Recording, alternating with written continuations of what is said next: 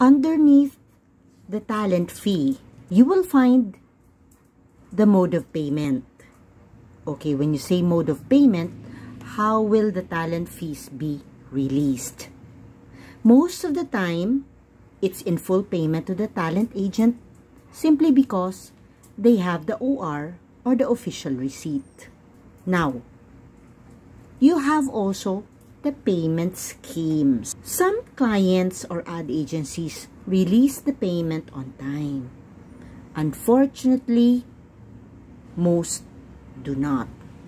This is because it goes through so many processes. Before a talent agent can bill or submit the billing, there has to be a purchase order.